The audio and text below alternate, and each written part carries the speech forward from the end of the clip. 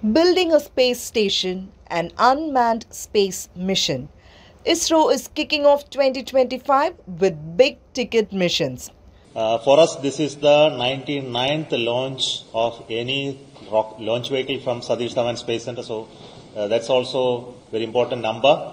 So we are going for the 100th launch uh, and in the beginning of next year. SpaDeX, India's space docking experiment. The mission has been successfully launched and if the docking happens as planned in the first week of January, ISRO will join an exclusive group of space agencies to achieve this milestone. But that's not all. ISRO is also gearing up for the GSLV NAVIC mission. While India often relies on foreign navigation systems, ISRO is changing the game with NAVIC, Navigation with Indian Constellation, which is our very own satellite navigation system.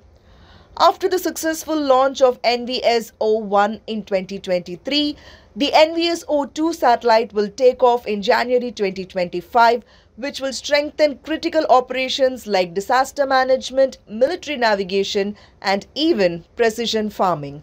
One of the most awaited missions is NISAR, a joint effort between ISRO and NASA.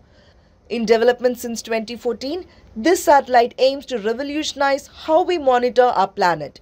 It will scan Earth's land and ice surfaces every 12 days, collecting data on natural disasters, melting ice caps, and even subtle changes in Earth's surface. This information is crucial for tackling climate change and protecting vulnerable ecosystems. India's first human spaceflight mission, Gaganyaan. In early 2025, ISRO plans to conduct two uncrewed test flights, paving the way for India's first astronauts to venture into space later in the year. Once this mission is successful, India will become the fourth nation in the world to independently send humans to space, joining the ranks of the US, Russia and China. Another exciting launch in 2025 is the GSAT-2. It will be a high-tech eye in the sky designed to monitor weather patterns, natural disasters and environmental changes across India. January 15 will witness the launch of ShaktiSat, a mission led by Space Kidz India, a Chennai-based aerospace startup. 12,000 girls from 108 countries have contributed to this project, creating a spacecraft designed for lunar orbit. Founder Srimathy Kesan calls it a mission of hope and unity.